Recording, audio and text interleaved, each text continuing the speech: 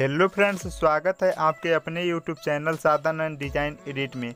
आज मैं आप लोगों को कुछ इस टाइप का सीबी एडिटिंग फ़ोटो करके दिखाने वाला हूँ। तो यार, वीडियो को बिल्कुल भी स्किप ना करें कि वीडियो क्योंकि बहुत मज़ेदार होने वाला है।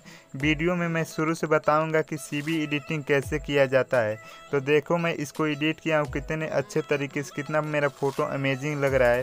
चलो इसको शेयर कर लेते हैं लाइट रूम में और उसमें इसको रिटचिंग करके और शुरू से एडिटिंग कैसे किया जाता है, वो आप लोगों को बताता हूँ। चलो बिना देरी किए वीडियो को स्टार्ट कर लेते हैं फ्रेंड्स तो फाइनली अपने फ़ोटो को हम शेयर कर लेते हैं लाइट रूम अप्लीकेशन में और थोड़ी देर लोडिंग लेने के बाद मेरा फ़ोटो ऐड हो चुका है। फ़ोटो पे क्लिक करके उसको ओपन कर लेते हैं फ्रेंड्स उसके बाद से जाएँगे लाइट वाले ऑप्शन पे, जो उसका कॉन्ट्रास्ट होता है उसे माइनस करेंगे। हाईलाइट को भी माइनस करेंगे शेडो होता है प्लस करेंगे। और जो वाइट्स है उसको प्लस करेंगे और जो ब्लैक्स है उसे माइनस कर देंगे।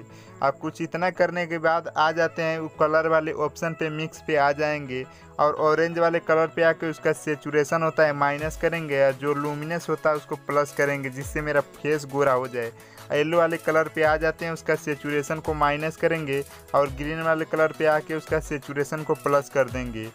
इतना करने के बाद डन कर देते हैं। आ जाते हैं इफ़ेक्ट वाले ऑप्शन पे और जो टेक्सचर होता है उसे फुल करेंगे और जो उसका बिजनेट है, उसको हम माइनस करेंगे। कुछ इस टाइप से आप लोग भी माइनस कर लीजिएगा। और उसके बाद से शेयर वाले ऑप्शन पे क्लिक करके इस फ़ोटो को हम सेव कर लेते हैं अपने गैलरी में। तो फाइनली फ्रेंड्स मेरा फ़ोटो सेव हो चुका है। चलो चलते हैं पिक्सार्ट एप्लीकेशन को ओपन कर लेते हैं फ्रेंड्स और उसी में हम इसका बैकग्राउंड को ऐड करेंगे और इसके फ़ोटो को भी ऐड करेंगे। चलो प्लस वाले आइकन पे एडिट फ़ोटो पे क्लिक करके और इसका जो बैकग्राउंड होता है, उस बैकग्राउंड को ऐड कर लेते हैं फटाक से।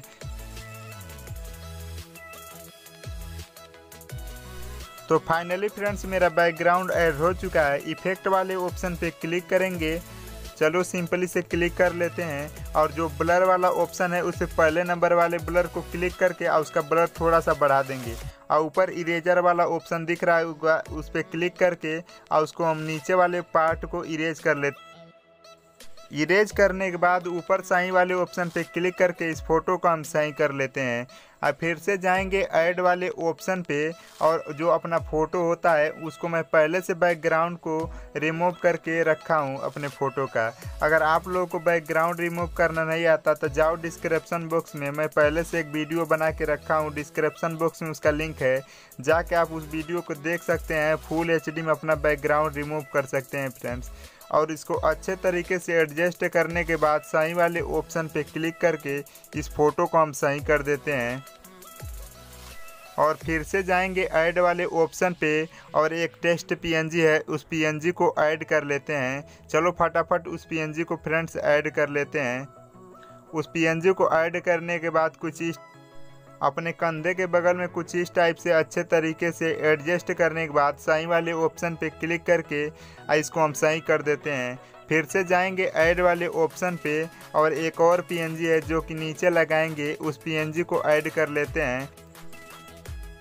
उसको ऐड करने के बाद कुछ इस टाइप से जूम करेंगे और नीचे की तरफ़ लगा देंगे। लगाने के बाद ऊपर सही वाला ऑप्शन पे क्लिक करके इस फ़ोटो को हम सही कर लेते हैं। तो फाइनली मेरा पिक्सार्ट में इतना हो चुका है। चलो इसे ड्रो वाले ऑप्शन पे क्लिक करके और लेयर पे क्लिक करेंगे। लेयर पे क्लिक करने के बाद इसको मर्ज कर लेंगे और थ्री डॉट पे क्लिक करके इस फ़ोटो को सेव कर देते हैं अपने गैलरी में। तो फाइनली फ्रेंड्स मेरा फ़ोटो सेव हो चुका है गैलरी में। देखिए, कुछ इस टाइप से हुआ है। इसको हम शेयर कर लेते हैं ऑटो स्केच बुक अप्लीकेशन में, जिसमें मैं आप लोगों को हेयर कैसे बनाया जाता है फ़ोटो का मैं ये बताऊँगा और उसका फेस कैसे स्मूथ होता है। इस वीडियो में मैं ये भी बताऊँगा तो यार वीडियो को बिल्कुल भी स्किप ना करने तो कुछ भी समझ में नहीं आएगा। चलो चलते हैं फटाफट अपने ब्रश पे और उस ब्रश को खोज लेते हैं। इसी ब्रश से हम अपने हेयर को बनाएँगे और उसके साइज़ को अपने हिसाब से रखिएगा। उसके बाद से आप इसका स्क्रीन शॉट लेके रख सकते हैं। और ताकि आपको एडिटिंग करने में आसानी हो। और कुछ इस टाइप से जूम करने के बाद अपने हेयर पे देखिए, ऐसे चलाना है आप लोगों को। मैं हर वीडियो में यार ये सब बताता हूँ।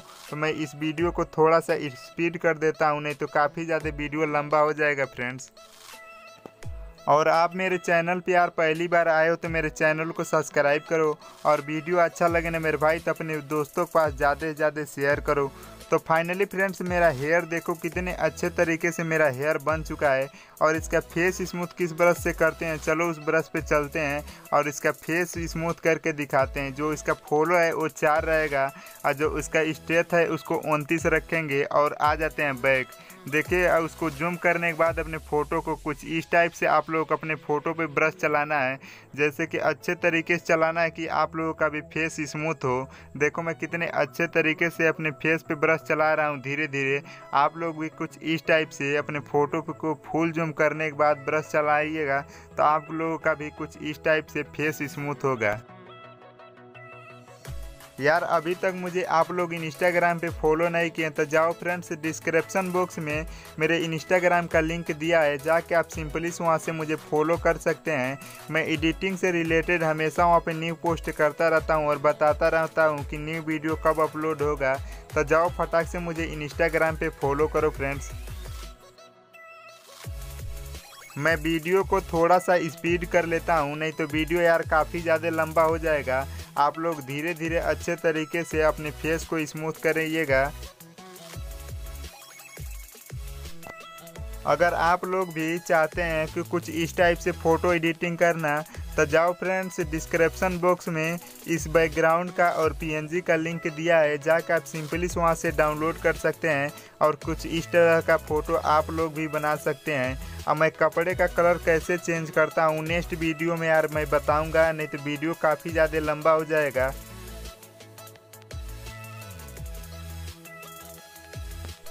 तो फाइनली फ्रेंड्स मेरा फेस देखो कितने अच्छे तरीके से स्मूथ हो चुका है।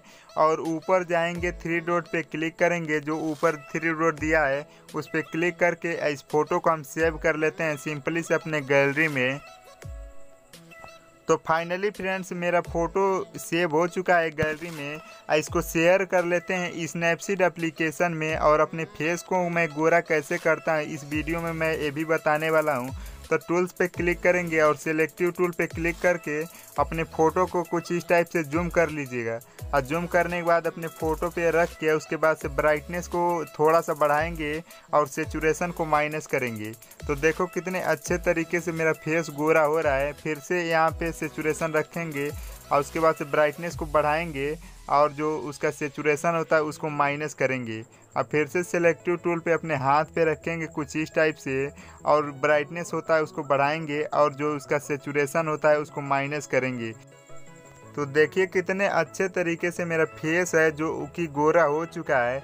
और उसके बाद से यहाँ पे भी ब्राइटनेस बढ़ाएँगे सेचुरेशन को माइनस करेंगे और सही वाले ऑप्शन पे क्लिक करके, इसको सही कर देते हैं। फिर से जाएँगे टूल्स वाले ऑप्शन पे क्लिक करेंगे और जो टून इमेज लिखा है उस पर क्लिक करके और जो उसका सेचुरेशन होता है, थोड़ा सा प्लस करेंगे। देखो, जैसे मैं कर रहा हूँ। और उसके बाद से आ जाते हैं एम्बिनेंस को भी थोड़ा सा प्लस करेंगे। हाईलाइट को थोड़ा सा माइनस और जो साइडो होता है उसको भी थोड़ा सा माइनस करके सही कर लेंगे। जो ऊपर एक तीर का ऑप्शन दिख रहा है, उस तीर पे क्लिक करेंगे। क्लिक करने के बाद व्यू एडिट पे क्लिक करेंगे और उसके बाद से इस पर टून इमेज पे क्लिक करके आप ब्रश पे क्लिक करेंगे।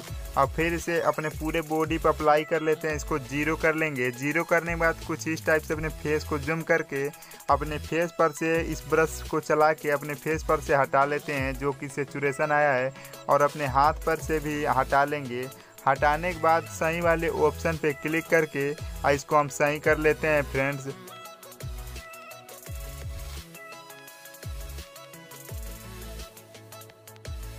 तो फाइनली फ्रेंड्स मेरा फ़ोटो एडिटिंग हो चुका है। देखिए कितना अमेजिंग लग रहा है। चलो फ्रेंड्स इसको डन वाले ऑप्शन पे क्लिक करके अपने फ़ोटो को सेव कर लेते हैं अपने गैलरी में। चलो फ्रेंड्स मिलते हैं नेक्स्ट वीडियो में।